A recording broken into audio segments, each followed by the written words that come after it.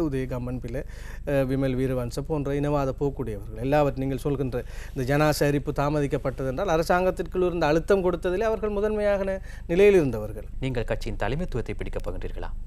இல்லை, அப்படி அல்ல. அப்படியான ஒரு கருத்தும் அல்ல. ஒரு நம்பிக்கை தரக்கூடிய அளவிலே எனக்கு அந்த அந்த கூடாரம் இல்லாமல் இருக்கு கட்சியின் தலைமைத்துவத்தால் உங்களுக்கு கெடுபிடிகள் இடம்பெறுவதாக நீங்கள் கூறுகிறீர்கள் இல்லை கட்சியின் தலைமைத்துவத்தினால் எனக்கு ஒரு பாதுகாப்பின்மையை நான் உணர்கிறேன். தலைமையும் கூட சேர்ந்து ஒரு சிலரினுடைய ஊதுகுழலுக்கு ஆடுகிறது என்கின்றது எனக்கு மிக கவலையான ஒரு விடயம்.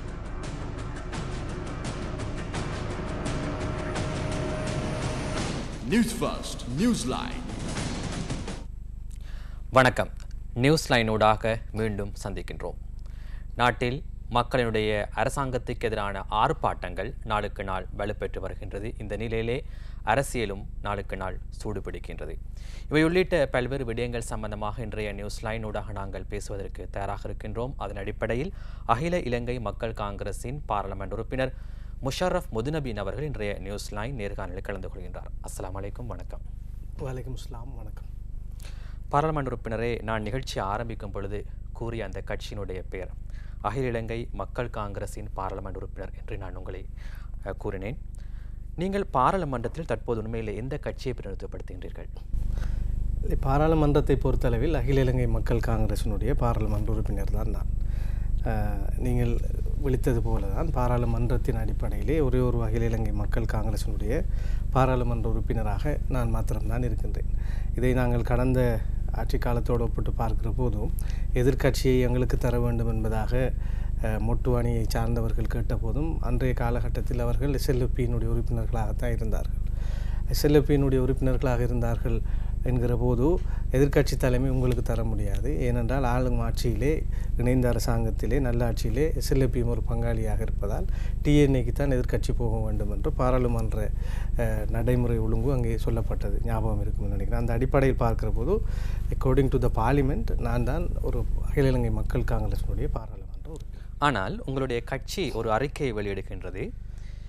இதில் இவ்வாறு குறிப்பிடப்படுகின்றது. கட்சியின் கட்டுப்பாடுகளையும் கொள்கைகளையும் மீறி செயற்பட்டதால் அகில இலங்கை மக்கள் காங்கிரஸ் கட்சியிலிருந்து இடைநிறுத்தப்பட்டுள்ள. பாராளுமன்ற உறுப்பினர்களான முஷாரஃப் முதுநபீன் மற்றும் அலி ரஹீம் ஆகிய இருவரும் கட்சியின் பெயரை பயன்படுத்தி ஜனாதிபதி தலைமையில் நடைபெற்ற சர்வ கட்சி மாநாட்டில் கலந்து கொள்ள அருகதையற்றவர்கள் என அகில இலங்கை மக்கள் காங்கிரஸ் தெரிவித்துள்ளது. நீங்கள் அருகதையற்றவரா? ஆமாம் எங்களுக்கு பாராளுமன்றத்தை பொறுத்தளவிலே நீங்கள் அகில இலங்கை மக்கள் காங்கிரசினுடைய பாராளுமன்ற உறுப்பினர் என்று நீங்கள் சொன்னது போலவே சர்வ கட்சி மாநாட்டிலே கலந்து கொள்ளுமாறான ஒரு அழைப்பு வர விடுக்கப்பட்டது எனக்கு விடுக்கப்பட்டது. அதே போன்று பாராளுமன்றத்தை பொறுத்தளவில் அலி சப்ரி ரஹீம் என்பவர் ஒரு தனியான ஒரு கட்சியினுடைய எம்என்எம் என்கின்ற ஒரு கட்சியினுடைய பிரதிநிதியாக அங்கே இருக்கிறார். நான் அகில இலங்கை மக்கள் காங்கிரஸ் கட்சியினுடைய பிரதிநிதியாக இருக்கின்றோம். அந்த அடிப்படையில் நமக்கான அழைப்பு விடுக்கப்பட்டது. நாடு ஒரு இக்கட்டான சூழ்நிலையை சந்தித்து கொண்டிருக்கிற ஒரு சூழலில் இந்த பொருளாதார நெருக்கடிகளிலிருந்து நாட்டை மீட்டெடுப்பதற்காக அனைத்து கட்சிகளும் இணைந்து ஒரு பயணத்தை மேற்கொள்ள வேண்டும் என்ற தீர்மானத்தின் அடிப்படையில் இந்த நாட்டின் முதுபெரும் கட்சிகள் எல்லாமே குறிப்பாக ஐக்கிய தேசிய கட்சி அதே போன்று டிஎன்ஏ தமிழ் தேசிய கூட்டமைப்பு உள்ளிட்ட அனைத்து கட்சிகளுமே பங்கேற்கின்ற ஒரு நிகழ்விலே நமக்கான ஒரு சந்தர்ப்பம் தருகிற போது நாங்கள் மக்கள் பிரதிநிதிகள் அரசியல் செய்வதும் கட்சி நடத்துவதும் எல்லாமே இந்த நாட்டை தேசத்தை முன்னிறுத்தியதான ஒரு விடயம்தான். எனவே தேசப்பற்றாளனாகவும் என்னுடைய கருத்தை என் சமூகம் சார்ந்து என் மக்கள் சார்ந்து நான் சொல்ல வேண்டிய இந்த நாடு சார்ந்து சொல்ல வேண்டிய ஒரு பொறுப்போடு அந்த நிகழ்வில் கலந்து கொண்டோம். கட்சி இடைநிறுத்தி வைத்திருக்கிறது என்பது உண்மைதான். அதற்கான ஒழுக்காற்று நடவடிக்கைகள் விசாரணைகள் செல்வதாக கட்சி சொல்கிறது. எனவே அந்த விடயங்களின் பால் அவர்களுடைய தீர்மானத்தை அவர்கள் அறிவித்திருக்கிறார் ஆனால் கட்சி ஒரு முடிவெடுக்கின்றது இந்த சர்வ கட்சி மாநாட்டில் கலந்து கொள்வதில்லை என்று. ஆகவே கட்சி முடிவெடுத்திருக்கின்ற பொழுது நீங்கள் எவ்வாறு அந்த கட்சியின் பெயரை பயன்படுத்தி மாநாட்டில் கலந்து கொள்ள முடியும்? கட்சியின் பெயரை பயன்படுத்தி மாநாட்டில் கலந்து கொள்ளவில்லை. பாராளுமன்ற உறுப்பினராக எனக்கு விடுக்கப்பட்ட அழைப்பின் பேரில் நான் சென்றிருக்கிறேன். ஒரு விடயம். இன்னும் ஒன்று கட்சி முடிவெடுத்தது என்று யார் சொன்னது? எங்கே முடிவெடுத்தது? யார் முடிவெடுத்தது? யாரிடம் அறிவித்திருக்கிறார்கள்? இது தனிப்பட்ட அழைப்பா அல்லது கட்சிக்கு விடுக்கப்பட்ட இது எனக்கு தனிப்பட்டு விடுக்கப்பட்ட ஒரு அழைப்பு. கட்சி முடிவெடுத்தது முடிவெடுத்தது என்று நீங்கள் சொல்கிறீர்கள். இந்த இருபதாவது திருத்தம் தொடங்கி வந்திருக்கின்ற முரண்பாடுகளை பார்க்கிற போது இந்த பட்ஜெட் விவகாரமாக இருக்கலாம்.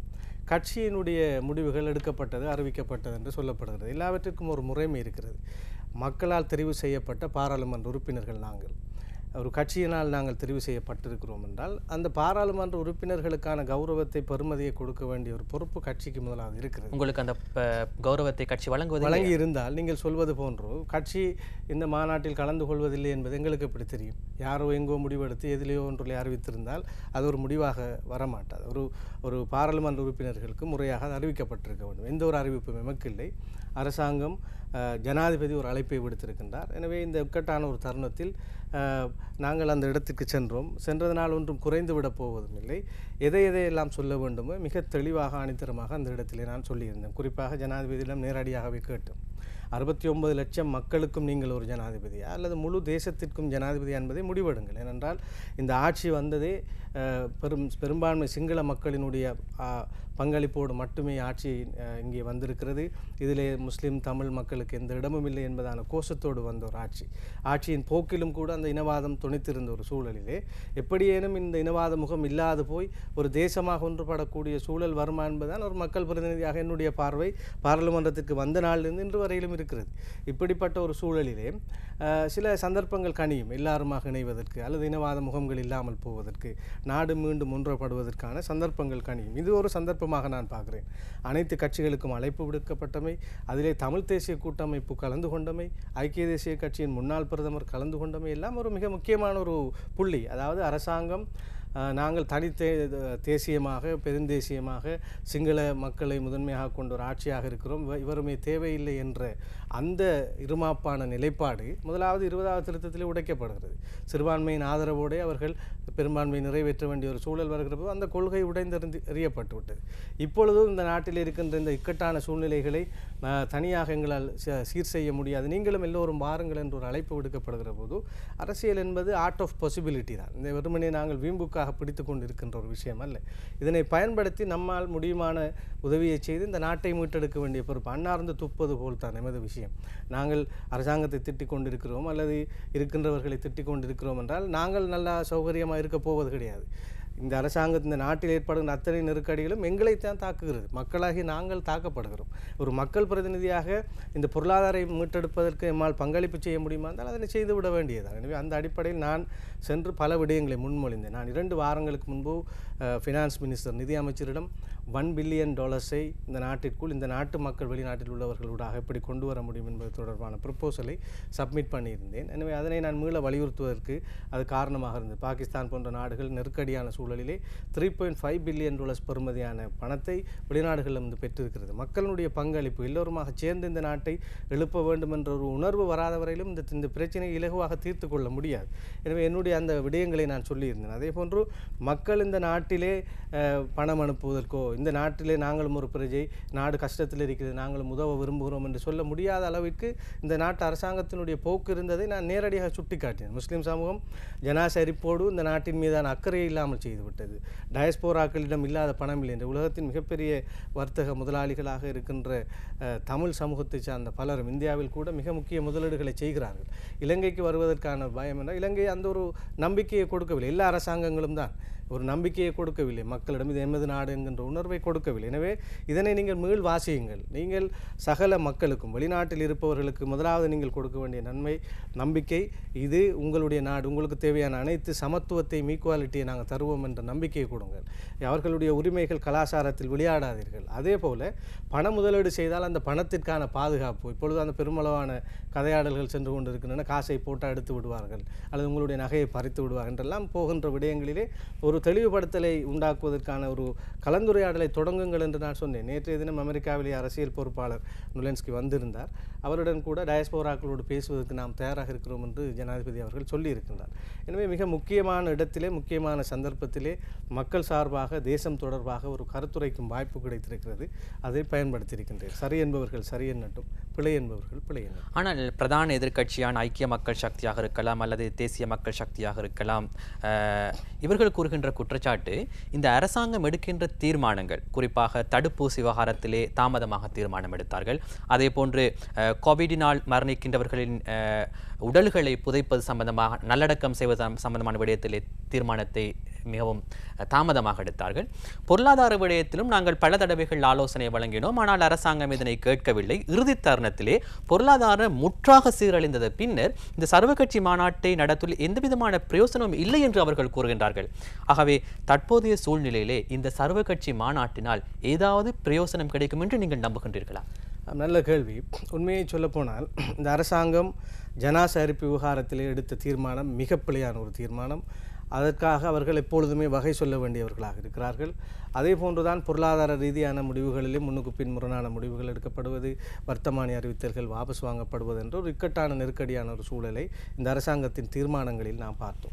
அதே சமயத்திலே ஒன்றை மட்டும் நான் சொல்ல வேண்டும்.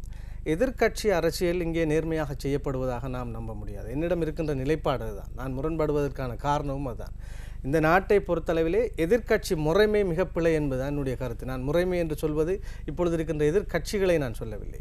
இந்த நாட்டை நாங்கள் ஆண்டாண்டு காலமாக எடுத்து பார்க்கிற போது ஒரே சட்ட மூலம் ஒரே ந- நகல்வரைவும் ஒரு ஆட்சி கொண்டு வருகிற போது ஏனைய எதிர் ஆட்சி அதை எதிர்க்கும். அதே சட்டமூலத்தை இந்த ஆட்சி மீண்டும் அரசாங்கமாக வருகிற போது கொண்டு வருகிற போது எதிர்க்கட்சியாக இருப்பவர்கள் எதிர்ப்பார்கள். இந்த நாட்டில் நீங்கள் பார்த்தால் தெரியும். ரெண்டாயிரத்தி ரணில் சந்திரிகா பண்டாரநாயக்க காலத்திலே ஒரு தீர்வு விடயத்திலே யூனியன் ஆஃப் ரீஜன் என்கிற தீர்வு வந்தது. அன்று இருந்த எதிர்- எதிர்த்தரப்பினர் ரணில் விக்ரமசிங்கை எதிர்த்தார். பிறகு நல்லாட்சியில் நல்ல ஒரு யாப்பை தருவோம் என்று அவர் முயற்சி செய்தார். இந்த பார்ட்டி எதிர்த்தார்கள். இந்த நிகழ்வு இருக்கிறது. இப்பொழுது நான் இந்த எதிர்கட்சிகளிடமும் என்னிடம் குற்றச்சாட்டுகள் உண்டும் பல விடயங்களில் அவர்களும் முன்னுக்கு பின்முரணாக திறந்தார் லாக்டவுன் செய்யப்பட்ட போது திறக்க வேண்டும் என்றார்கள் திறந்திருந்த போது லாக்டவுன் செய்ய வேண்டும் என்றார்கள் இப்படி வெக்சினேஷன் போடக்கூடாது என்றார்கள் போட வேண்டும் என்றார்கள் ஃபைசர் இல்லை என்றார் இப்படி பல விஷயங்களிலே உண்மையிலே இலங்கையிலே இருக்கின்ற ஒரு அபத்தம். இந்த அரசாங்கம் மிக பிழையான நகர்வுகளை பல நகர்வுகளை செய்திருக்கிறது என்பதில் மாற்று கருத்து இல்லை. அதே சமயத்தில் சிறந்த ஒரு எதிர்க்கட்சி அரசியல் இங்கே நடந்திருக்கிறது என்றால் இல்லவே இல்லை என்பதுதான் என்னுடைய கருத்து. குறிப்பாக நீங்கள் பார்த்தால் எதிர்க்கட்சி அரசியலிலே ஒரு காத்திரமான கருத்து முன்வைப்புகள் வைக்கப்படவில்லை. இன்றும் கூட நீங்கள் பார்த்தீர்களா இருந்தால் ஒரு ஆட்சி மாற்றத்துக்கான ஒரு முஸ்தீபை எல்லோருமே பயன்படுத்துகிறார் அந்த சந்தர்ப்பத்தை. நான் நேற்றைய தினம் ஜனாதிபதிக்கு முன்பாகவும் அதை சொல்லியிருந்தேன். இன்று இந்தியாவிலே நாங்கள் சென்றால் இந்தியாவினுடைய பெட்ரோல் டீசல் விலையை நீங்கள் கேட்டீர்களா என்றால் இலங்கையை விட அதிகமாக இருக்கிறது. ஏனைய அரபு நாடுகளில் கூட விலை அதிகமாக இருக்கு. உலக சந்தையில் விலையேற்றம் அதிகம். ஆனால் எமது நாட்டை பொறுத்தளவில் அதற்காக அங்கே மக்கள் வீதியில் இறங்கவும் இல்லை போராடவும் இல்லை ஒன்றும் செய்யவும் இல்லை. இந்த கோவிட் பிரச்சனைகளோடு அவர்கள் அவர்கள் அவர்களாகவே இருந்து கொண்டிருக்கிறார்கள். இங்கே அதற்கு மேலதிக பிரச்சனைகள் வேறாக இருந்தாலும் இங்கு இதை வைத்து அரசியல் செய்து ஒரு ஆட்சி மாற்றத்தை செய்கிற ஒரு முறைமையை நாங்கள் பார்க்கணும். நான் என்று பார்த்தேன் ரஞ்சித் மத்தும பண்டார் அவர்கள் ஒரு கருத்து சொல்லியிருக்கிறார். டீல் பேசக்கூடியவர்களை அழைத்து கூட்டம் நடத்தியிருக்கிறார்கள் என்று அரசாங்கத்தை அவர் விமர்சிக்கின்றார். டீல் பேசக்கூடியவர்கள் என்று தமிழ் தேசிய கூட்டமைப்பையா சொல்கிறார்? டீல் பேசக்கூடியவர் என்று ரணில் விக்ரமசிங்கே சொல்கிறார். எனவே ஒரு நாட்டினுடைய ஒரு இக்கட்டான ஒரு சூழலிலே நாம் நம்முடைய கருத்தை நேற்றைய தினம் அரசாங்கத்திற்குள் இருக்கின்ற துணை கட்சிகளை சார்ந்த தலைமைகள் கூட காட்டமான விமர்சனத்தை ஜனாதிபதிக்கு முன்பாக வைத்து நான் கூட நீங்கள் அறுபத்தொன்பதினாயிரம் பேருக்கான ஜனாதிபதி அல்ல ஒட்டுமொத்த நாட்டிற்குமா என்று கேட்டிருந்தேன். எனவே நேற்று நடந்த கூட்டம் வெறுமனே எல்லோரும் க மிக காத்திரமாக தங்களுடைய கருத்துக்களை விமர்சனங்களை முன்வைப்பதற்கான ஒரு அவகாசத்தை கொடுத்த ஒரு கூட்டமாக பார்க்கிறேன். ஐஎம்எஃபிற்கு நாங்கள் செல்வதாக தீர்மானித்திருக்கோம் அந்த வரைவு தயார் தயாரிக்கப்பட்டு அதிலே எப்படி நாங்கள் என்னென்ன விதத்திலே இந்த பிரச்சனைகளை நாங்கள் மீட்டெடுத்து மீட்டெடுத்துக் கொள்ள முடியும் என்பதான ஒரு ஒரு முடிவோடு தான் அந்த கூட்டம் கலைக்கப்பட்டது. மீண்டும் அது கூடுவதற்கான சந்தர்ப்பம் இருக்குது. இப்போதும் நான் சொல்கிறேன் முஸ்லிம் தலைமைகளிடம் கூட என்னுடைய வேண்டுகோள் என்னவென்றால் இது நாட்டின் மிக முக்கியமான ஒரு பிரச்சனை. அரசாங்கத்தோடு முரண்பாடுகள் இருக்கிறது அரசாங்கத்தின் தவறுகள் பலவும் இருக்கின்றன. அந்த தவறுகளை முரண்பாடுகளை சுட்டிக்காட்டுவதற்கான ஒரு சந்தர்ப்பமாகவோ அல்லது உங்களிடம் இருக்கின்ற உயரிய ஆலோசனைகளை முன்வைப்பதற்கான ஒரு சந்தர்ப்பமாகவோ நாட்டிற்காகவும் எமது மக்களுக்காகவும் நாம் செய்ய வேண்டிய ஒரு பொறுப்பு இருக்கிறது. வரக்கூடிய நாட்களில் இந்த சர்வகட்சி மாநாடு நடைபெறுகிற போது முஸ்லீம் தலைமைகள் இதில் கலந்து கொள்ள வேண்டும் என்பதை நான் ஒரு வேண்டுகோளாக இந்த நிகழ்ச்சியூடாக முன்வைக்கின்றேன். ஆம் நீங்கள் குறிப்பிட்டிருந்தீர்கள் சர்வதேச நாடுகளினுடைய நிலைமை சம்பந்தமாக. ஆனால் சர்வதேச நாடுகள் பல நாடுகள் கோவிட்டினை எதிர்கொண்டாலும் தற்போது இந்தளவு தூரத்துக்கு மக்கள் பாதிக்கப்படவில்லை. இன்று மக்கள் வீதியில் இறங்கியிருக்கின்றார்கள். குறிப்பாக எரிபொருளை பெற்றுக்கொள்வதற்காக எரிவாயுவை பெற்றுக்கொள்வதற்காக மக்கள் நீண்ட வரிசையிலே காத்திருக்கின்றார்கள். பணத்தை கொடுத்தும் பொருட்களை வாங்க முடியாத ஒரு சூழ்நிலை நாட்டிலே ஏற்பட்டிருக்கின்றது. ஆகவே அரசாங்கத்தினால் இந்த நிர்வாகத்தினை சரியாக முன்னெடுக்க முடியவில்லை என்ற குற்றச்சாட்டை தான் சுமத்துகின்றார்கள். நீங்கள் என்ன நிலைப்பாட்டிருக்கின்றீர்கள்? அரசாங்கத்தினுடைய இந்த நிர்வாக திறமை சம்பந்தமாக இல்லை அரசாங்கத்தினுடைய நிர்வாக கோளாறுகள் அதை ஏற்றுக்கொள்ள வேண்டிய விடயங்கள் இருக்கின்றன. இது இன்னும் ஒரு வகையிலே முகாமை செய்திருக்கலாம் என்ற ஒரு கருத்து இருக்குமா இருந்தால் அதனை மீட்கத்தான் வேண்டும். அதே சமயத்தில் ஒட்டுமொத்தமாக இந்த அரசாங்கத்தின் மேலே இந்த நெருக்கடி தொடர்பான பழியை சுமத்த முடியாது. நாங்கள் இப்பொழுது நாங்கள் அயல் நாடுகளை தேசங்களை பார்த்தால் கூட எமக்கு இருக்கின்ற வருமானம் சுற்றுலாத்துறை ஆடை ஏற்றுமதி டீ ஏற்றுமதி வெளிநாட்டு வேலை வாய்ப்புகள் ஊடாக. இந்த இரண்டு வருடங்களாக நாங்கள் இந்த வருமானம் முற்றிலுமாக இழக்கப்பட்ட ஒரு சூழல் இருக்கணும். நீங்கள் இந்தியாவை எடுக்கலாம் மலேசியாவை எடுக்கலாம் சிங்கப்பூரை எடுக்கலாம். உற்பத்தி சார் பொருளாதாரத்தில் தண்ணீரை அடைந்திருக்கிறார்கள் இந்தியாவை நீங்கள் எடுத்தால் பேருந்து தயாரிக்கப்படுகிறது ஆட்டோ தயாரிக்கப்படுகிறது நிறைய தொழிற்சாலைகளை கொண்ட ஒரு தேசமாக அது இருக்கிறது. எனவே டூரிசம் இல்லாமல் போனாலும் வெளிநாட்டவர்கள் நாட்டிற்குள் வராமல் விட்டாலும் ஏனைய விடயங்கள் தடைப்பட்டாலும் இன்னும் ஒரு மார்க்கத்தினூடாக அவர்களுக்கான வருமானத்திற்கான வழி இருக்கின்றது. எனவே இலங்கையில் நடந்த விடயம் என்னவென்றால் ஒன்று நாங்கள் கடனை திட்டமிட்ட அடிப்படையில் வாங்கவில்லை. இந்த இந்த தவறை எல்லா அரசாங்கங்களும் தொடர்ச்சியாக கிட்டத்தட்ட யுத்த நாங்கள் சுதந்திரத்துக்கு பின்னர் இருந்து நாங்கள் வர வேண்டியிருக்கிறது நம்ம நாட்டினுடைய திட்டங்கள் தொடர்பாக. நாங்கள் தொடர்ச்சியாக நாங்கள் கடன்களை பெற்றிருந்தோம். இந்த கடன்களை மீளச் செலுத்துவது தொடர்பான ஒரு சரியான ஒரு திட்ட பொறிமுறை இல்லை. ஆயிரத்தி தொள்ளாயிரத்தி எழுபதுகளிலே உற்பத்திசார் பொருளாதாரம் இலங்கைக்கு வருகிறது. இந்தியாவிலும் கூட மிக இறுக்கமான மூடு பொருளாதாரம் ஒரு காலகட்டத்தில் இருந்து ஒரு தன்னிறைவு அடைந்ததன் பின்புதான் ஓப்பன் எக்கனாமிக்கு அவர்கள் விட்டார்கள். எழுபதிலே இந்த மூடு பொருளாதாரம் வந்தபோது அது மிகப்பெரிய நெருக்கடியை உருவாக்கியிருந்தது. ஆனால் எழுபத்து ஏழுகள் ஆகிற போது ஒவ்வொரு வீட்டிலும் ஏதோ ஒரு உற்பத்தி சார்ந்த ஒரு நடைமுறை இந்த நாட்டில் இருந்தது. இன்றும் பொருளாதார வல்லுநர்கள் என்ன சொல்கிறார்கள் என்றால் இன்னும் ஒரு ஐந்து வருடத்திற்கு அந்த ஆட்சி போயிருந்தால் அந்த சிரமத்தோடு சிரமத்தமாக இந்த நாடு ஒரு சுபிட்சத்தை தன்னிறைவை பொருளாதாரத்தில் அடைந்திருக்கும் என்றால் இன்றைய இந்த பிரச்சனைக்கு என்னை கேட்டால் நான் சொல்கிற ஒரு விடயம் எம்மிடம் ஒரு உற்பத்தி சார் பொருளாதாரம் இல்லை. நாங்கள் ஓப்பன் எக்கனாமி எழுபத்தி ஏழில் கொண்டு வந்து எங்களுடைய வெளிநாட்டிலிருந்து தேவையான பொருட்களை தேவையான விதத்திலே பெற்றுக்கொண்டோம் அதை பெருமையாக சொல்லலாம். நாங்கள் எழுபத்தேழில் ஓப்பன் எக்கனாமியை கொண்டு வந்து உங்களுக்கு ஒரு தட்டுப்பாடு இல்லாமல் பொருள் தந்தோம். அதனுடைய மறு வடிவம் என்ன? எங்களுடைய டொலர்களை எல்லாம் வெளிநாட்டுக்கு அனுப்பி இருக்கிறோம். நாங்கள் பொருட்களை உள்ளே எடுத்திருக்கின்றோம். எனவே உற்பத்தி இங்கே நடக்க வேண்டும்? எங்களுடைய பொருட்களில் ஆக குறைந்தது வெளிநாட்டிலிருந்து அந்த பொருளை இறக்குமதி செய்யாமல் நாங்கள் எங்களுக்கு பயன்படுத்தக்கூடிய அளவுக்கான ஒரு நிலைமையையும் ஏற்றுமதி செய்யக்கூடிய ஒரு நிலைமையும் பொருளாதார ரீதியாக உருவாக்க வேண்டும். பல் குத்துற குச்சியை கூட டூத்பிக்கை கூட ஏற்று இறக்குமதி செய்கிற ஒரு நிலைமை தான் இந்த நாட்டில் இருக்கின்றது. நாங்கள் எதனை கடல் வளம் ஒரு ச- ஒரு சமுத்திரமாக நாங்கள் இருக்கிறோம் ஒரு தீவாக இருக்கிறோம். இந்த தீவு ஒரு இலங்கை ஒரு தீவாக இருந்து கொண்டும் டின்மீனை ஏற்றுமதி செய்கிறது என்று எப்போதுமே எல்லோரும் விமர்சிப்பது ஆட்சியாளர்கள். இந்த நாட்டிலே வந்த எந்த ஒரு ஆட்சியாளரும் அதிலே ஒரு தண்ணீரை அடைவதற்கான ஒரு திட்டத்தை வகுத்து நாங்கள் அதனை செய்யவில்லை. இந்த அரசாங்கம் ஒரு முயற்சி எடுப்பதை நான் பார்க்கின்றேன். எனவே இது எல்லாவற்றிற்கும் காரணம் ஒரு உற்பத்தி சார் பொருளாதாரத்தை நம்பி எமது நாடு பயணிக்கவில்லை. அவ்வாறான முயற்சிகள் எடுக்கப்படுகிற போது வருகின்ற அழுத்தங்கள் பிரச்சனைகள் காரணமாக நாங்கள் அதில் இருந்து தவிர்ந்து கொண்டோம். தவிர்ந்து கொண்டதனுடைய அடிப்படையிலே நாங்கள் திறந்த பொருளாதாரத்துக்குள் சென்று எமது நாட்டிற்கு டொலரை கொண்டு வருவதற்கான மார்க்கங்கள் பற்றி நாங்கள் தெளிவான நிலைப்பாட்டிலே இல்லை. நாங்கள் பல ஒப்பந்தங்கள் இந்த ஆட்சி காலத்தில் நான் நேற்று கூட்டத்தின் போது கூட சொன்னோம். எம்சிசி ஒப்பந்தத்திலே கையெழுத்திடவில்லை ஈஸ்ட் டெர்மினலை கொடுக்கவில்லை. அரசியல் அழுத்தங்களால் சில தீர்மானம் எடுத்திருக்கிறீர்கள். ஆனால் இந்த தீர்மானங்கள் இந்த நாட்டிற்கு பொருளாதார நன்மையை தந்ததவா தீமையை தந்தனவா என்பதை சிந்தித்து பார்க்க வேண்டியிருக்கிறது.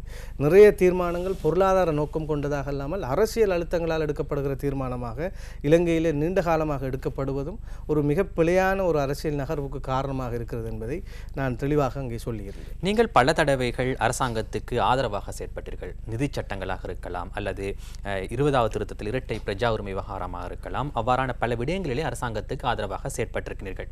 கட்சி ஒரு முடிவு எடுக்கின்ற பொழுது நீங்கள் அதற்கு முரணான ஒரு தீர்மானத்தை நீங்கள் அஹ், தொடர்ந்தும் பல தடவைகள் எடுத்திருக்கிறீர்கள். இவ்வாறு எடுத்த தீர்மானங்கள் காரணமாக ஏதாவது பிரதிபலன்கள் கிடைத்திருக்கின்றதா? இல்லை நீங்கள் முதலாவதாக இந்த டுவெல் சிட்டிசன்ஷிப் என்கின்ற க்ளோஸுக்கு நான் வாக்களித்தேன். இருபதாவது திருத்தத்துக்கு நான் வாக்களிக்கவில்லை. அன்று தொற்று இன்று வரையும் சொல்லி வருகிறேன். டுவெல் சிட்டிசன்ஷிப் என்பது என்ன என்பதனுடைய அன்றே நான் இங்கே உங்களுடைய நிகழ்ச்சிகளிலும் தெளிவுபடுத்தி இருந்தேன். இரட்டை பிரஜா உரிமை உள்ளவர் ஒருவர் இங்கே வந்து தேர்தலில் போட்டியிடுவதற்கான ஒரு சந்தர்ப்பம். ஒரு அரசியல் குறியாக இருந்தாலும் இன்னும் ஒரு புறமாக பார்க்கிற போது முஸ்லீமாக இருக்கலாம் அல்லது வெளிநாடுகளில் இருக்கின்ற டயஸ்போராக்களாக இருக்கலாம். இந்த நாட்டிற்குள் வந்து ஒரு அரசியல் பிரதிநிதித்துவத்தை எடுப்பதற்கான ஒரு கதவை அது திறந்துவிடும். அரசியல் ரீதியாக நீங்கள் சொல்வது போல் நானும் என்ற அந்த விளக்கத்தை கூறியிருந்தேன். எந்த அரசாங்கத்திற்குள் இருக்கின்ற வன்போக்கு கொண்ட அல்லது எல்லாவற்றையும் குழப்பிக் கொண்டிருந்த மிக முக்கியமானவர்கள் என்றால் இந்த உதயகம்மன் பிள்ளை விமல் வீரவன்ச போன்ற இனவாத போக்குடையவர்கள். எல்லாவற்றையும் நீங்கள் சொல்கின்ற இந்த ஜனாச அரிப்பு தாமதிக்கப்பட்டது என்றால் அரசாங்கத்திற்குள் இருந்த அழுத்தம் கொடுத்ததிலே அவர்கள் முதன்மையாக நிலையில் இருந்தவர்கள். கொரோனாவிலே பாதிக்கப்பட்டு இறக்கப்படுகிற போது முஸ்லீம்கள் தான் அதிகமாக கொரோனா நோயினால் தாக்கப்படுகிறார்கள் என்று அதிலும் ஒரு முஸ்லீம்களை குற்றம் சுமத்தினவர்கள். எனவே ஒரு அரசியல் ரீதியாக பார்க்கிற போது அதிலே என்னுடைய அந்த வாக்களிப்பிலே ஒரு தூர நோக்கம் இருந்தது. இவர்கள் வெளியே போகிற போது இந்த அரசாங்கத்திற்குள் இருக்கின்ற இனவாத போக்கு இல்லாமல் போகும். ஏனென்றால் என்னுடைய நோக்கம் இந்த சந்தர்ப்பமாக இவற்றை பயன்படுத்தி நான் மீண்டும் அரசியலுக்கு வரணும் தேர்தல் கேட்க வேண்டும் என்பதல்ல. நானும் ஒரு ஊடகத்துறையிலிருந்து வந்தவன். இருக்கின்ற இந்த ஐந்து வருடங்களுக்குள் முடிந்த அளவுக்கு இந்த சமூகத்திற்கு எதிரான தாக்கத்தை குறைப்பதற்கு என்ன செய்யலாம் என்று யோசிக்கிற போது இங்கிருக்கிற இனவாத முகம் வெளியேற வேண்டும் என்று நான் சொன்னேன். நான் இருபது டுவெல் சிட்டிசன்ஷிப்புக்கு போட்டுவிட்டு என்ன சொன்னேனோ அதான் இன்று நடந்திருக்கிறது. அரசாங்கத்திற்குள் இருந்து அந்த குழு வெளியே சென்றிருக்கிறார்கள். இப்பொழுது அவர்கள் தான் இந்த அவர்கள் இந்த ஆட்சிக்கு எதிராக இப்போ பேச வெளிக்கிட்டு இருக்கிறார்கள் அவர்கள் ஒரு சுயநல அரசியலுக்குள் இப்பொழுது செல்கிறார்கள். அது நடந்திருக்கிறது. அதே போன்று நான் ஒன் கண்ட்ரி ஒன் லோவினுடைய தலைவராக அத்தை ஞானசார தேரர் நியமிக்கப்பட்ட போது நான் முதலாவதான விமர்சனத்தை நானே தெரிவித்தேன். ஆங்கில பத்திரிகையில் முதற்பக்க செய்தியாக வந்தது. பின்பு ஒன் கண்ட்ரி ஒன் லோவிற்கு என்னுடைய கருத்துக்களை நான் கொண்டு சென்றேன். அதிலே சமூகம் சார்ந்த சில விடயங்கள் இருந்தன. அதே போன்று எமது பகுதி சார்ந்த ஒரு பிரச்சனையும் இருந்தன. எனவே அவர்களிடம் சொல்ல வேண்டிய தேவை ஏனென்றால் அரசாங்கம் அங்கீகாரம் கொடுத்த ஒரு குழுவாக இருக்கிறது. எனவே ஒரு விடயத்தில் பிழை நடந்து விடக்கூடாது என்பதற்காக நாம் நம்முடைய சரியை செய்ய வேண்டும். குவாசி நீதிமன்றம் இல்லாமலாக்கப்பட வேண்டும். அதே போன்று முஸ்லீம் சட்டம் ஒழிக்கப்பட வேண்டும் என்று முஸ்லீம் சகோதரர்களை சென்று வாக்குமூலம் கொடுத்த நிலைகளை எல்லாம் பார்த்தேன். எனவே இதற்கு மாற்றாக நாங்கள் சரியான சில விடயங்களை சொல்ல வேண்டிய கடப்பாடு இருக்கிறது என்று நான் சென்றேன். சென்றபோதும் என்னை விமர்சித்தார்கள். யாருமே அங்கீகாரம் கொடுக்காத ஒன்றுக்கு ஒரு பாராளுமன்ற உறுப்பினராக இவர் அங்கீகாரம் கொடுத்து விட்டார் என்று என்னை ஏசி திட்டி எல்லாம் நான் வீடியோக்கள் எல்லாம் போட்டார்கள். கடைசியாக என்ன நடந்தது? ஜம்மியத்துல் வெளியே வந்து சொன்னது நீங்கள் உங்களுடைய கருத்துக்களை அதே போன்று ஒரு இன்டெலெக்சுவல் மரீனா அரிஃபா என்ன நினைக்கிறேன் அவரும் சொல்லியிருந்தார். முஸ்லீம் சமூகத்தினுடைய விடயங்கள் குவாசி கோட் முஸ்லீம் சட்டம் தொடர்பாக நீங்கள் உங்களுடைய தரப்பு கருத்துக்களை சொல்லுங்கள். இல்லாவிட்டால் அவர்கள் அதை சட்டமாக்கி விடுவார்கள். எனவே என்னுடைய நிலைப்பாடு இதுதான். இதை சரியாக புரிந்த அறிவு புத்திஜீவிகளுக்கு தெரிகிறது. என்னோடு அவர்கள் இணைந்து பயணிக்கிறார்கள். நாங்கள் நிறைய வேலை செய்து கொண்டிருக்கிறோம். அவர்களிடம் நான் கூறுகிற விடயம் என்னவென்றால் மிகப்பெரிய ஆபத்துக்களிலிருந்து எம்மை தவிர்த்து கொள்வதற்கான சில யதார்த்தமான அதே சமயத்தில் சாணக்கியமான சில நகர்வுகளை அரசியலுக்குள் நாம் செய்ய வேண்டியிருக்கிறது. எனவே அந்த இடைவெளி குறைப்பை தான் நான் இப்பொழுது செய்து கொண்டிருக்கேன். எனவே என்ன விமர்சித்தார்கள் ஒன் கண்ட்ரி வண்டோவுக்கு நான் சென்றதற்காக. பின்பு ஜமியத்தில் ஜமியத்துல் ஒரு உயர்பிடமே வந்து வெளியே சொல்கிறது நீங்கள் எல்லோரும் சென்று கொடுங்கள் என்று. அதை புத்திஜீவிகள் வந்து செல்கிறார்கள் உங்கள் கருத்துக்கள் என்று. எல்லோரும் அதற்கு பிறகு ஒவ்வொருவராக சென்று கருத்துக்களை சமர்ப்பித்தார்கள். இப்படி அன்பொப்புலர் டிசிஷனை எடுப்பதற்கு நான் பயப்படவில்லை. நான் மிக தெளிவாக இருக்கிறேன் என்னவென்றால் இப்போ நாங்கள் இந்த அரசியலில் நடந்த பிழையும் இதுதான். முஸ்லீம் அரசியலை நீங்கள் எடுத்து பார்த்தால் மக்கள் எல்லாரும் முடிவெடுத்தவுடன் நாங்கள் போனோம் என்று தான் தலைமைகள் சொல்லியிருப்பதை நீங்கள் பார்த்திருப்பீர்கள். மக்களினுடைய முடிவுகளுக்கு அப்பால் நின்று தனித்துவமான முடிவை எடுத்து மக்களினுடைய விமர்சனத்தை ஏற்றுக்கொண்டு முட்டையால் எறிபட்ட ஒரு தலைவர் இருந்தார். எம்எச்எம் அஷ்ரப் அவர்கள். அவருடைய முடிவுகள் பிற்காலத்தில் பேசப்பட்டன. அவர் தூரத நோக்கம் கொண்டு அவர் அடுத்த தலைமுறையை யோசிக்கின்ற ஒரு தலைமையாக இன்றும் புகழப்படுவதற்கான காரணம் என்னவென்றால் மக்கள் எல்லாம் முடிவெடுத்துட்டாங்க. நம்மளும் அந்த பக்கம் போவோங்கிற நிலைப்பாட்டில் இல்லை. மக்களை வழிப்படுத்தி கொண்டு செல்லக்கூடிய ஒரு ஆளுமையாக அவர் இருந்தார். எனவே நான் என்னுடைய மனச்சாட்சிக்கு நான் சமூகத்துக்காக அரசியல் செய்கிறேன். இந்த சமூகத்தின் விடிவு வேண்டும் என்பதில் மிக தெளிவாக இருக்கிறேன். நான் ஏ கட்சி ஏ நல்ல கட்சி கட்சி பி மோசமான கட்சி என்று இந்த இருக்கின்ற பிரதானமான கட்சிகளை வரையறுக்கவில்லை. என்னுடைய பார்வையில் இரண்டு அணிகளுக்குள்ளும் மிகப்பெரிய இனவாத முகாம்கள் இருக்கின்றன. இந்த இனவாத முகாம்களுக்குள் இந்த நாடு நசுக்கப்படுகிறது முதலாவது விடயம். எமது சமூகம் நசுக்கப்படுகிறது. இதனுடைய விடுதலையை நாம் பெற வேண்டுமாக இருந்தால் சில விடயங்களிலே நாங்கள் தனித்துவமான முடிவை நோக்கி செல்ல வேண்டும் என்பதிலே நான் தெளிவாக இருக்கிறேன். நீங்கள் அதில் கட்சி சம்பந்தமாக பேசினீர்கள். கட்சி சம்பந்தமாக நாங்கள் வருவோம். அகில இலங்கை மக்கள் காங்கிரஸ் என்பது ஒரு பெரும் எதிர்பார்ப்போடு உருவாக்கப்பட்ட ஒரு கட்சி. கட்சியின் தலைவர் ரிஷாட் பதியுத்தீன் அதே போன்று நீங்கள் அலிஷா அப்துல் ரஹீம் இஷாக் ரஹ்மான் ஆகியோர் இருந்து தற்பொழுது நான்கு பேரும் நான்கு திசைகளிலே பயணிக்கின்றீர்கள். தலைவர் ஒரு பக்கம் இருக்கின்றார் மற்றவர்கள் வேறு பக்கத்தில் இருக்கின்றார்கள். நீங்கள் கட்சியின் தலைமைத்துவத்தை பிடிக்கப் போகின்றீர்களா? இல்லை, அப்படி அல்ல. அப்படியான ஒரு கருத்தும் அல்ல. கட்சியின் தலைமைத்துவத்தை பிடிக்க வேண்டும் நாம் தொடர்ந்து அதிகாரத்தில் ஜாம்பவானாக இருக்க வேண்டும் என்றால் தலைமை சொல்கின்ற எல்லாவற்றிற்கும் அல்லது கட்சி சொல்கின்ற எல்லா விடயத்திலும் மறுகேள்வி கேட்காமல் தலையாட்டி பொம்மையாக என்னால் பயணித்திருக்க முடியும். அதனை நான் தெளிவாக இங்கே குறிப்பிட்டு சொல்ல விளைகிறேன். என்னுடைய முரண்பாடெல்லாம் கட்சிக்குள் இருந்ததும் அதுதான். இந்த முஸ்லீம் சமூகத்திடம் ஒரு திட்டம் இல்லை ஒரு அரசியல் கொள்கை இல்லை. கட்சிகளை பற்றி பார்க்கிற போது கூட கட்சிகளுக்குள் director of planning director of international affair director of land இப்படிலாம் போட்டிருப்பார்கள் பொலிட்டிக்கல் அத்தாரிட்டியில் இந்த சமூகத்தினுடைய என்ன விடயம் தொடர்பாக கட்சியாக ஒன்று சேர்ந்து ஒரு காத்திரமான ஒரு விவாதம் நடத்தப்பட்டிருக்கிறது என்ன முடிவுகள் எடுக்கப்பட்டிருக்கின்றன என்றால் இந்த கட்சி முறைமையில் இல்லை. முஸ்லீம் சமூகம் பாருங்கள். இந்தியாவிற்கு பதிமூன்றை நீங்கள் அமுல்படுத்துங்கள் என்பதற்காக நாங்கள் கையொப்பம் பெறப்போகிறோம் என்று தமிழ் கட்சிகள் ஒன்று சேர்ந்தபோது உடனடியாக சென்று கையொப்பமிட்டார்கள் ஆயிரத்தி தொள்ளாயிரத்தி எண்பத்தேழில் இலங்கை இந்திய ஒப்பந்தம் நடந்தபோது முஸ்லீம் சமூகத்தை ஒரு பொருட்டாகவே நினைக்கவில்லை அவர்கள். வடகிழக்கு இணைக்கின்ற போது கூட கிழக்கிலே வடக்கிலே வாழ்கிற முஸ்லீம் சமூகத்தின் நிலைப்பாடு என்ன என்பதை இந்தியா கூட கேட்கவில்லை. அதுபோன்றுதான் ஒஸ்லோவிலே பேச்சுவார்த்தை நடத்த நடந்தபோது ஒரு சிறு குழுக்கள் முஸ்லீம்கள் என்பதாக வரையறுக்கப்பட்ட போதெல்லாம் கை கட்டி வாய் பொத்தி பொம்மைகளாகத்தான் நாம் இருந்தோம். இந்த முஸ்லீம் அரசியலிலே எங்களுடைய இருப்பு இதுதான். நாங்கள் கேட்கிற சமஷ்டி ஒற்றையாட்சி எந்த கட்சி மிகச் சரியாக பதிவு செய்திருக்கிறது? முஸ்லீம் சமூகத்தை பொறுத்தளவில் எங்களுக்கு சமஷ்டி தேவை. அல்லது முஸ்லீம் சமூகத்தை பொறுத்தளவில் எங்களுக்கு ஒற்றையாட்சி தேவை என்று எந்த கட்சி பல சரியான ஒரு பதிவை இங்கே செய்திருக்கிறது என்றெல்லாம் பார்க்கிற போது ஒரு கட்சிகள் என்பவைகள் என்பவைகள் என்னுடைய பார்வையில் தேர்தலை மையப்படுத்தியதான ஒரு அரசியலை பார்க்கிறேன் நான். எப்படியாவது எலெக்ஷனை வென்றணும் எப்படியாவது சீட்டை கூட்டிடணும் ஆனால் இந்த பிரச்சனைகள் தீர்ந்த பாடலை நான் தேர்தலுக்கு வரும் முன்போ நான் அரசியலுக்கு வரும் முன்போ இருபது முப்பது வருடமே இந்த இந்த பிரச்சனைகள் தீர்க்கவில்லை என்று கேட்டுவிட்டு வந்தேன். நான் இன்று கண்டுபிடித்த பதில் இதுதான்.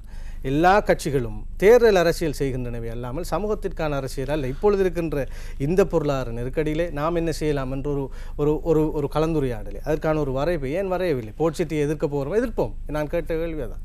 ஏன் எதிர்க்க போகிறோம்? இதற்குள் நாம் எமது சமூகம் சார்ந்த எண்ணத்தை பயன்படுத்தலாம். நான் உதாரணத்துக்கு சொல்கிறேன். நான் ஊடகத்துறையில் இருக்கிற போது போட்சிட்டியை ஆட்சி மாற்றம் நல்லாட்சி வந்ததன் பிற்பாடு சீனாவிடம் செய்ய கொண்டு- கொண்டு செல்ல முடியாமல் அதனை இஐஏ டெஸ்ட் எடுக்க வேண்டும் என்று நிறுத்தியிருந்தது இலங்கை அரசாங்கம். சீனா அதற்கு செய்த வேலை தெரியுமா உடனடியாக இந்தியாவிற்கு பயணமானார் உங்களுடைய பொருளாதார நிபுணர்கள் அந்த அந்த அந்த ப்ரொஜெக்ட் சார்ந்தவர்கள் சென்றிருந்தார்கள். அரசியல் துறை சார்ந்தவர்கள் போகவில்லை. என்ன பிரச்சனை உங்களுக்கு என்றால் எங்களுக்கு பாதுகாப்பு சார்ந்த சந்தேகம் இருக்கிறது இந்தியா சொல்கிறது. இதில் எந்த பாதுகாப்பு நோக்கமும் இல்லை. தனியாக நாங்கள் இதனை வர்த்தக நோக்கத்திற்காக இது செய்திருக்கிறோம்.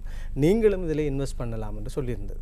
அந்த அடிப்படையில் இந்தியாவின் ஐந்து மல்டிநேஷனல் கம்பெனிஸ் நான் இந்த செய்தியை வாசித்தவன் என்ற அடிப்படையில் சொல்கிறேன். இதிலே இன்வால்வ் ஆனார்கள். இப்பொழுது கூட இந்திய கம்பெனிகள் போர்ட் சிட்டிக்குள் இருக்கிறார்கள். எனவே இந்த இந்த போர்ட் சிட்டிக்குள்ளே எமது சமூகத்தை பிரதிநிதித்துவப்படுத்தக்கூடியவர்களை முள்வாங்கத்தக்கதான ஏதாவது வழிமுறைகள் இருக்கிறதா என்பதை தேடி பார்க்க கூட நமக்கு கால அவகாசம் இல்லை. நாங்கள் சும்மா இருபதை பற்றி பேசிக்கிட்டு இருக்கிறோம் அவங்கள பற்றி பேசிக்கிட்டு இருக்கிறோம். இப்போ எந்த சந்தர்ப்பத்திலும் பார்த்தால் எமக்கான இருப்பு என்ன? இப்போ நீங்கள் பார்த்தால் எஸ்ஜேபி எடுத்த முடிவின் பின்பு நாங்கள் சென்றிருக்கிறோம். எஸ்டிஏபி தூக்கச் சொன்னால் தூக்குவது. அல்லது நாம் அரசாங்கம் இந்த அரசாங்கத்தோடு இருக்கிறோமோ மஹிந்த ராஜபக்சேனுடைய கடந்த அரசாங்கத்தில் இருக்கிற போது பதினெட்டாவது திருத்தத்துக்கும் கை உயர்த்தினோம் முஸ்லீம் தலைமைகள். ஏன்? நாம் இருக்கிற அரசாங்கம் எடுக்கிற எல்லா முடிவுக்கும் கை உயர்த்த வேண்டும். அதே போன்று கடந்த நல்லாட்சியிலே மாகாண சபை திருத்தச் சட்டம் வந்தபோது அதற்கும் கை உயர்த்தினோம். அது எமக்கு எதிரானது. முஸ்லீம் சமூகத்தினுடைய பிரதிநிதித்துவத்தை குறைக்கக்கூடியது. ஏன்? நாங்கள் இருக்கின்ற அரசாங்கம் நாங்கள் உயர்த்த வேண்டும். இந்த முறைமையிலே எனக்கு ஒரு முரண்பாடு இருக்கிறது. இந்த முரண்பாடு பிழையாக இருந்தால் இந்த முரண்பாட்டை சொல்கின்ற நான் பிழையாக இருந்தால் இருந்துவிட்டு போகுது ஆம். உங்களுடைய கட்சி கட்சியின் தலைவர் அண்மையிலே குறிப்பிட்டிருந்தார். முஷாரஃபுக்கும் அம்பாறைக்கும் இடையில் இந்த தொடர்பும் இல்லை என்று. கட்சிக்கும் தலைமைத்துவத்துக்கும் உங்களுக்கும் இடையிலே சிறந்த உறவு இல்லையா? இல்லை என்னிடம் இருக்கின்ற ஒரு குற்றச்சாட்டு என்னவென்றால் இது தேர்தல் காலத்திலிருந்தே தொடர்ச்சியாக நான் பார்க்கின்றேன். ஒரு நம்பிக்கை தரக்கூடிய அளவிலே எனக்கு அந்த அந்த கூடாரம் இல்லாமல் இருக்கிறது. குறிப்பாக நீங்கள் சொன்ன இந்த அம்பாறை விஜயத்தின் போது தலைவர் அவர்கள் அங்கே பேசுகிற போது சொல்லியிருந்தார். என்னுடன் சேர்ந்த சக வேட்பாளர்கள் ஒரு சிலர் என்னோடு சேர்ந்து பயணித்தார்கள். அந்த குறிப்பிட்ட மருதமனையைச் சேர்ந்த வாய்க்கே அப்துல் ரஹ்மான் அப்படி ஒரு ஒருவரை அவர்களை கூட்டி நீங்கள் புத்துவிலுக்கு சென்றீர்களே உங்களுக்கு ஏதாவது வாக்கு விழுந்ததா? என்று நக்கலாக கேட்கிறார். எமது ஊர் தசாப்த காலமாக வஞ்சிக்கப்பட்ட ஒரு ஊர். அந்த ஊரிலிருந்து எங்களுடைய வாக்குகளை பயன்படுத்தி அண்மையில் கூட முன்னாள் பாராளுமன்ற உறுப்பினர் ஒருவர் சொல்கிறார் நாங்கள் அந்த ஊருக்கு போனால் ஒவ்வொரு ஏரியாவாக பிரித்து தருவார்கள் ஒவ்வொரு எம்பிமாருக்கும் வேட்பாளர்களுக்கும். நாங்கள் காசு கொடுத்து வாட் ஓட்டு எடுத்துருவோம். அப்படியெல்லாம் விமர்சிக்கப்பட்ட ஒரு ஊர். என்னுடைய கட்சி தலைவர் என்னிடம் அதை மிக வலிந்து சொல்லியிருந்தார் ஒரு காலகட்டத்தில். அந்த ஊரிலே என்னுடைய பிரவேசத்திற்கு பிறகு நாங்கள் எல்லோருமாக ஒன்றுபட்டு ஊருக்கு ஒரு பிரதிநிதித்துவத்தை எடுக்கலாம். இதுவரைக்கும் அந்த வாக்கு ஒரு பிரதிநிதித்துவத்தை எடுக்க போதாதென்றெல்லாம் நம்பப்பட்டிருந்தது. இவர்கள் விதைத்திருந்தார்கள். அதையெல்லாம் முறியடித்து நான் வந்ததன் காரணமாக இறைவனுடைய உதவியை கொண்டு மக்கள் ஒன்றுபட்டு நாங்கள் வின் பண்ணியிருக்கிறோம். அந் அந்த ஒரு எப்படியும் நாம் வெற்றி பெற வேண்டும் என்பதற்காக இப்போ என்னுடன் சக பயணிகள் என்னுடைய வேட்பாளர்கள் சிலர் வந்திருந்தார்கள். அவர்களுக்கு வாக்களியுங்கள் என்று நான் கோரியிருந்தேன். ஆனால் கட்சியின் தலைவர் உங்களுக்கு அந்த வாய்ப்பை வழங்கினார். கட்சி அதை நான் சொல்ல வருகிற விடயத்தை நீங்கள் புரிந்து கொள்ளுங்கள். போட்டியிடுவதற்கான வாய்ப்பை வழங்கினார். அதை நான் மறுக்கவில்லை. நான் சொல்கிற விடயம் நாங்கள் சென்று என்னுடைய சக வேட்பாளருக்கும் வாக்களியுங்கள் என்று சொன்னாலும் அந்த மக்களினுடைய நிலைப்பாடு இருந்தது. எல்லா ஊர்களிலும் அது இருந்தது. நம்முடைய ஊர் வேட்பாளர் ஒரே ஒரு சீட் தான் ஏசிஎம்சி கிடைக்கும். எனவே இவர் வெல்வதாக இருந்தால் ஏனைய போட்டியாளர்களுக்கு போடக்கூடாது என்பதால் ஒரு மனநிலை உருவாகிவிட்டது. எனக்கு இந்த ஊரில் ஒரு ஓட்டு முழவில்லை. அதே போன்று நான் மிக முக்கிய வேட்பாளர்கள் இந்த கல்முனையில் எனக்கு ஓட்டு விழவில்லை அதுபோல தான் எமது ஊரிலே பிரதான போட்டியாளர்களுக்கான வாக்கு அளிக்கப்படவில்லை. அதில் எங்களுடைய ஊர் எப்படியேனும் பெற்றுவிட வேண்டும் என்ற உணர்விலே எம்மோடு வந்தவர்களிடம் கூட அவர்களுக்கு வாக்கு எதிர்பார்த்த அளவுக்கு விழவில்லை.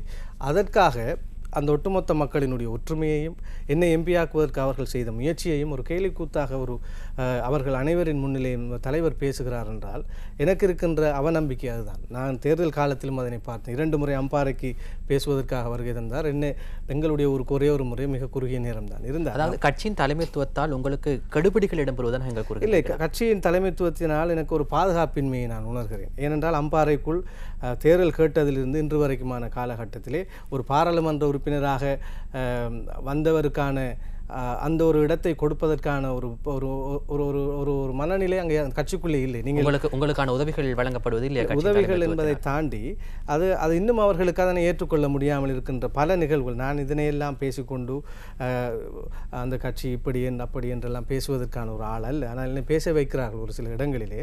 நான் இங்கே சொல்ல வருகிற விடயம் என்னவென்றால் கட்சியாக ஒரு பாராளுமன்ற உறுப்பினருக்கு கொடுக்க வேண்டிய இடத்தை ஒரு கௌரவத்தை கொடுப்பதில்லை. அன்றிலிருந்து இன்று வரை தலைமையும் கூட சேர்ந்து ஒரு சிலரினுடைய ஊதுகுழலுக்கு ஆடுகிறது என்கின்றது எனக்கு மிக கவலையான ஒரு விடயம். அதிலே மிக முக்கிய முக்கிய குற்றச்சாட்டு நீங்கள் போனீங்க உங்களுக்கு ஓட்டு விழுந்துச்சா அந்த ஊரில்? என்றா என்ன சொல்ல வருகிறார்? அந்த ஊருக்கு நீங்கள் நீ நம்பி போவாங்க உங்களுக்கு நம்ம ஓட்டு விழாது. என்று சொல்ல வருகிறாரா? அப்போ அந்த மக்களை பிழையாக பேச வருகிறார்கள் ஒட்டுமொத்தமாக கட்சி தொடர்பாக நீங்கள் அதிருப்தியில் இருக்கின்றீர்கள். அந்த அதிருப்தியும் அவநம்பிக்கையும் இருக்கிறது. நான் இப்பொழுது பொலிட்டிக்கல் அத்தாரிட்டி மீட்டிங் நடக்கும் ஐந்து மணிக்கு மீட்டிங் தொடங்கும். நான் பே பேசிக்கொண்டது எல்லாமே இதுதான். நான் போட்சிட்டை எதிர்த்து போட்டேன் பட்ஜெட்டை எதிர்த்து போட்டேன். ஆனால் நான் சொன்ன விடயம் என்னவென்றால் ஒரு காத்திரமான கலந்துரையாடல் கட்சிக்குள் அவசியம். இந்த சமூகத்தின் பிரச்சனை நிறைய காணி பிரச்சனைகள். இதனை எப்படி தீர்க்கின்ற இப்பொழுது கூட நீங்கள் பாருங்கள் இந்த கட்சிகள் பேசுகின்றன. இந்த கட்சிகள் எதை பேசுகின்றன? இந்த முஸ்லீம் சமூகத்தின் பிரச்சனை இதனை தீர்ப்பதற்கு இதுதான் எங்களுடைய வழி. இந்த காணி பிரச்சனை இப்படி தீர்த்து கொள்ள முடியும். இதனை நாங்கள் இப்படி செய்து கொள்ள முடியும் என்பதான எந்த பேச்சு இருக்கிறது? முஸ்லீம் அரசியல் எதற்காக செய்யப்படுகிறது? வெறுமனை சீட்டெடுப்பதற்கும் எம்பி ஆவதற்கும் மட்டுமா? இதனை சீட்டெடுத்து எம்பி ஆகி நாங்கள் எப்படி இந்த பிரச்சனையை தீர்க்கப் போகிறோம் என்கின்ற ஒரு சிறு துளி அளவான ஒரு முயற்சியும் நடக்காத விடத்து எதற்காக அரசியல் செய்ய வேண்டும்? ஆம் என்னுடைய இறுதி கேள்வி இந்த சூழ்நிலையிலே உங்களுக்கு கட்சியினால் வேட்புமனு மீண்டும் கிடைக்கும் என்ற நம்பிக்கை இருக்கின்றதா? அவ்வாறு கிடைக்காவிட்டால் உங்களுடைய அரசியல் எதிர்காலம் எவ்வாறு அமையப் போகின்றது? மிகவும் குறுகிய ஒரு பதிலை எதிர்பார்க்க நிகழ்ச்சி நிறைவு செய்ய நேரம் நெருங்கிவிட்டது. இல்லை நான் சொல்கின்றேன் தேர்தலை மையப்படுத்தி ஒரு அரசியல் செய்பவர்கள் அரசியல்வாதிகளாக இருக்கலாம். சமூகத்தினுடைய அல்லது அடுத்த தலைமுறையினுடைய எதிர்காலத்தை பற்றியதான ஒரு தூர நோக்கத்தோடு அரசியல் செய்பவர்கள் தான் மக்கள் தலைவர்கள் என்பது என்னுடைய கருத்து. என்னுடைய அரசியலும் அப்படித்தான் இருக்கிறது. அடுத்த தலைமுறையினுடைய அரசியலை பற்றி யோசிக்கின்றேன். இன்று இருக்கின்ற பொருளாதார நெருக்கடி நாளை என் தலைமுறையை எப்படி பாதித்து விடுமோ என்கின்ற ஒரு பயம் எனக்கு இருக்கிறது. இன்று இருக்கின்ற இந்த இனவாத முகங்கள் இரண்டு கட்சிக்குள் இருக்கின்ற முகங்களுக்கு இடையிலே இந்த சிறுபான்மை சமூகம் சிக்கி சின்ன பின்னமாகிவிடக் கூடாது என்று நான் பயப்படுகின்றேன். இன்று இந்த நாட்டிலே அரசியல் மாற்றம் ஒன்று நிகழ்ந்துவிடும் என்று எல்லோரும் எதிர்பார்க்கிற ஒரு சூழலிலே இன்று நடக்கின்ற ஒரு விடயம் ஒரு நமது நாட்டிற்குள் ஒரு ஆட்சி மாற்றத்தை கொண்டு வருகிற விடயமா? அல்லது இந்த நாட்டை கை நாட்டிலே ஆதிக்கம் செலுத்துகின்ற சர்வதேச சக்திகள் இடம் மாறுகின்ற ஒரு விடயமா என்பதான ஒரு ஆழமான ஒரு பார்வை எனக்குள் இருக்கிறது. எனவே இப்படி பார்க்கிற போது சமூகத்தினுடைய நன்மைக்காக ஒரு நேர்மையான முறையிலே இதே சுத்தியோடு நான் அரசியல் பயணம் செய்கிறேன். என்னோடு இருப்பவர்கள் என்னை அறிந்தவர்களுக்கு தெரியும். ஓய்வொன்றி மக்களுக்கான பணியாற்றி கொண்டிருக்கின்றேன். எனவே மக்களுக்கு நாம் தேவைப்பட்டால் அரசியலில் இருக்கப் போகிறோம். அது என்ன கட்சி என்ன இது என்பதை பற்றியோ அடுத்த தேர்தலை பற்றியோ நான் யோசிக்கவில்லை. எமது நாடு முதலாவது இந்த இக்கட்டிலிருந்து மீள வேண்டும். எமது சமூகம் நிம்மதியாக இந்த கியூவிலே நிற்காமல் நிம்மதியாக வீட்டில் உறங்கக்கூடிய ஒரு சூழல் உருவாக வேண்டும். அதே போன்று சகல சமூகங்களும் தங்களுடைய உரிமைகளை மதித்து பாதுகாத்து ஏனையவர்களால் சமத்துவமாக நடத்தப்படுகிற ஒரு நிலை உருவாக வேண்டும் என்ற பிரார்த்தனையோடு என்னுடைய அரசியல் பயணம் செல்கிறது. அவ்வளவுதான். ஆம் எது எவ்வாறாக இருந்தாலும் மக்கள் எதிர்கொள்கின்ற பிரச்சனைகளுக்கு விரைவில் தீர்வுகள் கிடைக்க வேண்டும் என்பதுதான் அனைவருடைய எதிர்பார்ப்பு. நிகழ்ச்சியில் கலந்து கொண்டமைக்கு மிக்க நன்றி. தேங்க்யூ நன்றி ஆம் மற்றொரு நியூஸ் லைனூடாக அடுத்த சனிக்கிழமை மாலை ஐந்து மணிக்கு மீண்டும் சந்திப்போம். வணக்கம்.